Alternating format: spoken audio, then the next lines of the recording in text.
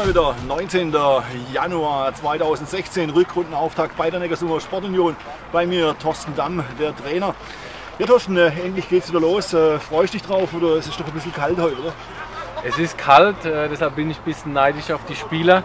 Ingo wollte äh, nicht mit den Spielern tauschen. Ich habe gesagt, das wäre ein gutes Los. Ich würde gerne mit den Spielern tauschen, weil die mit Sicherheit nicht frieren werden. Jetzt Lauf gleich. doch mit. Wenn ihr nicht filmt dabei, mache ich das. Okay, lassen wir weg. Ja, gehen wir schön auf die Hinrunde nochmal zurück. Äh, Wie zufrieden warst du mit dem Ganzen? Also vom Tabellenplatz her muss ich sagen, sind wir glaube ich alle stolz mit der Sommersportunion. Ähm, ja, so vom, vom, von der Optik her, vom Gefallen der Spiele war noch das eine oder andere, wo man sagen, Mensch, könnte ein bisschen peppiger sein, das Ganze. Das mache ich schon dazu.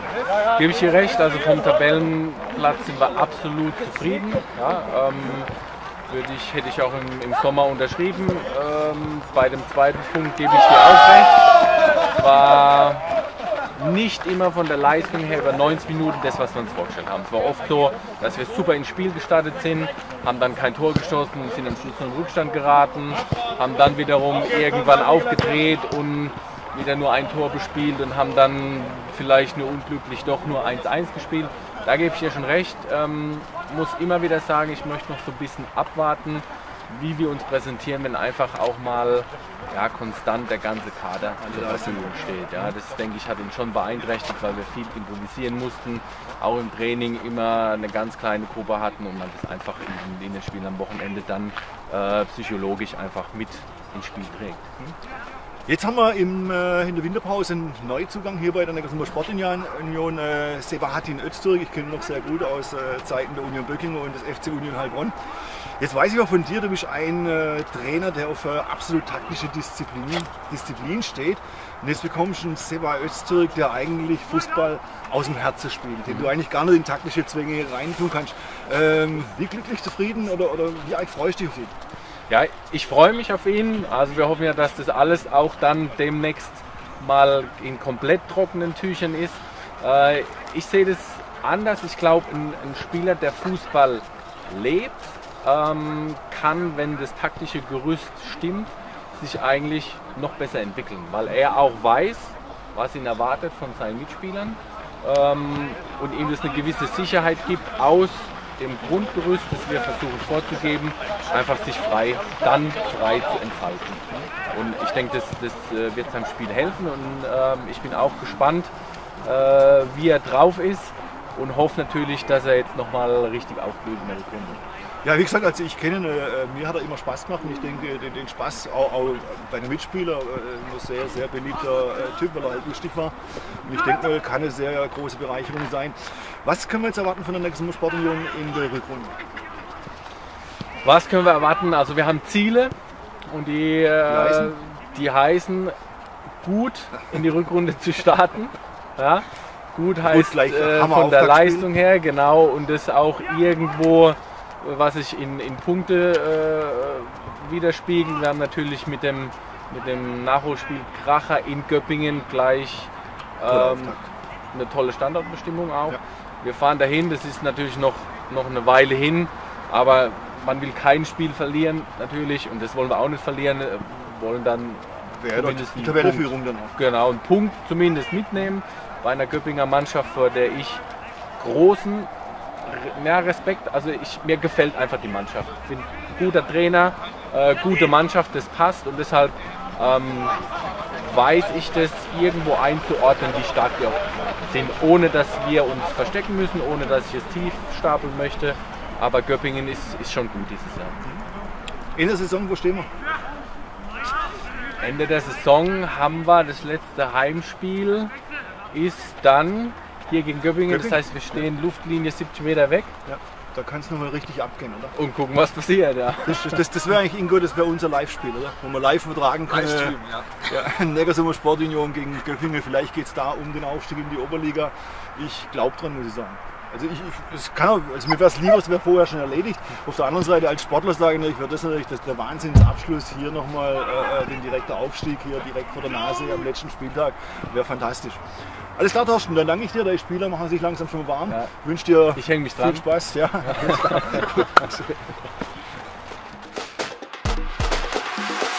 Marcel unglaublich, äh, immer zweistellige Temperaturen. Heute gefühlte minus 10 Grad. Ähm, was lief da schief heute beim Wetter? Was beim Wetter schief läuft, weiß ich nicht, aber müssen wir mehr laufen, dass es uns schnell warm wird. Nee, ist natürlich nicht optimal, aber jetzt zum Trainingsstart ist jetzt auch kein, kein weiteres Problem. Dein äh, Trainer Thorsten Damm hat ja gesagt, für ihn war jetzt Silvester nicht unbedingt so der Bringer mit seinen beiden Hunde. Ja, wie war es für dich? Hast du gut reingefeiert?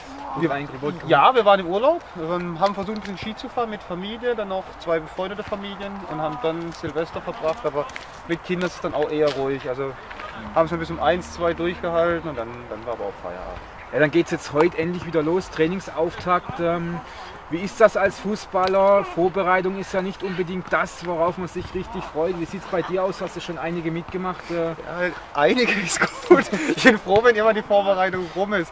Äh, nee, jetzt am Anfang ist es eigentlich immer noch schön, was mich freut, nach der, es waren glaube ich sechs Wochen, ähm, mal wieder Fußball zu spielen und was zu machen. hast ja auch schon eigentlich durchtrainiert, ja. Ähm, sozusagen, ganz klar. Aber Vorbereitung gibt es definitiv Schöneres. Obwohl, also grundsätzlich ist es, ist es einfach wieder schön, ein bisschen, sich zu bewegen und der Weihnachtsspeck runter zu trainieren. Also, ist schon glaube ich okay bei so. dir äh, weniger angesetzt. Nee, noch geht's, noch geht's. Ja, ähm, kommen wir zur Konstellation. Wir stehen ein Punkt äh, hinter dem Tabellenführer Göppingen, gleich unser erster Gegner. Was ist möglich in der Rückrunde aus deiner Sicht? Ja, äh, möglich ist alles. Allein, du hast gerade gesagt, Konstellation, ein Punkt ist gar nichts. Ähm, es wird schwer. Ich denke, es sind einfach vier, fünf Mannschaften, die in etwa ein Level haben. Da wird oft die Tagesform, vielleicht mal ein bisschen Glück, Schiedsrichterentscheidungen ähm, mitspielen. Wir müssen hoffen, dass wir ein bisschen weniger Verletzungssorgen haben wie in der Vorrunde. Ich glaube, wenn wir das haben, dann sind unsere Chancen auch wirklich gut. Ähm, und jetzt geht es darum, sich halt einfach fit zu machen und dann gucken, was rauskommt. Ähm, kommen wir noch kurz äh, zu dir persönlich. Hattest ein bisschen Verletzungspech in der Vorrunde. Hast du dir persönlich äh, was vorgenommen für die Rückrunde? Ja, am liebsten halt, klar, keine, zumindest keine schlimmere Verletzung haben, weil die war jetzt war auch die längste Verletzung, seit ich Fußball spiele, jetzt mit, mit sieben Wochen, was es glaube ich war. Ähm, also das ist so, wo ich einfach hoffe, dass ich jetzt die Rückrunde gesund bleibe. Grundsätzlich war aber auch die Verletzung ist vom Heilungsverlauf sehr gut gewesen, sodass ich doch noch relativ viele Spiele machen konnte. Ähm, so war das auch nicht mitzurechnen. Ich habe mir jetzt kein Ziel gesetzt, dass was weiß ich jetzt so und so viele Tore schießen will oder wie auch immer, sondern einfach erstmal gesund werden, fit werden und dann ähm, hoffe ich, dass wir uns mit der Mannschaft krönen können. Das wäre dann auch mein persönliches Ziel. Aber natürlich genial. Kommen wir noch mal kurz zur Vorbereitung. Ähm, das Trainerteam hat ja einige Hochkaräter auch, äh, was Testspielgegner angeht. Ähm, Glaube ich Freiberg, äh, Hollenbach, Waldorf. Gibt es was, auf das du dich besonders freust? Ich freue mich auf Hollenbach ehrlich gesagt so ein bisschen am meisten, weil da jetzt auch ein oder zwei ehemalige Neger-Elfer Spieler wahrscheinlich hinwechseln oder hingewechselt sind. Ähm, und dass man einfach die wieder sieht. Deswegen ist das das, was ich mich so ein bisschen am, am meisten freue. Und äh, ja, letzte, letzte Frage nochmal zur Vorbereitung. Äh, auf was wird es jetzt ankommen in der Vorbereitung? Vielleicht auch neben der Kondition gibt es noch andere Dinge, die man auch noch. Ja, ich hoffe, dass wir dann halt erstmal genügend Leute sind, dass man einfach ein paar Sachen einstudieren kann, dass man nicht nur, keine Ahnung, mit 5 gegen 5, 6 gegen 6 trainieren kann, sondern halt einfach mal ein großes Spiel, dass man da gewisse taktische Sachen ähm, einstudieren kann. Am Anfang sicherlich geht es erstmal um Ausdauer zu trainieren, dass wir da fit werden und dann einfach ein bisschen aufeinander abstimmen, dass wir im Defensivverhalten, was in der Vorrunde wirklich sehr gut war, dass wir das beibehalten, aber dass wir gerade dann in der Offensive ähm, einen, Tick, einen Tick zulegen, weil da, glaube ich, haben wir dann schon die ehesten Schwächen gehabt in der Vorrunde. Allerletzte Frage noch, Marcel. Ähm, der TSV Ilshofen hat ziemlich aufgerüstet. Auch äh, zwei ehemalige Neckarsumer, die hinge hingewechselt sind. Was hältst du davon? Ja? Also erstmal Glückwunsch, ja, sind sicherlich gute Spieler. Ähm, ob das dann auch immer so klappt, das, das weiß man ja nie. Ja. Also ich habe schon erlebt, dass man im Winter verpflichtet hat ohne Ende und es hat, es hat gar nicht funktioniert. Ähm, andersrum macht man gar nichts und dann läuft es dann nicht. Dann hätte man sagt man wieder, warum hat man nichts getan? Ach, das ist immer schwer zu sagen. Grundsätzlich sind es definitiv erstmal gute Spieler, die Ilshofen gut tun. Ähm, ob das ihren Erfolg bringt, ich hoffe es nicht, aus persönlicher Sicht. Ähm, aber da mache ich mir keine Gedanken. Ich denke, wir sind stark, auf das sollte man uns vertrauen und alles andere wird sich eh zeigen. Okay, dann wünsche ich euch eine tolle Vorbereitungsphase. Dankeschön. Bin froh, dass ihr nicht mitmachen muss, ja, aber werde es natürlich beobachten. Kannst du mal eine Einheit mitmachen? Lieber nicht.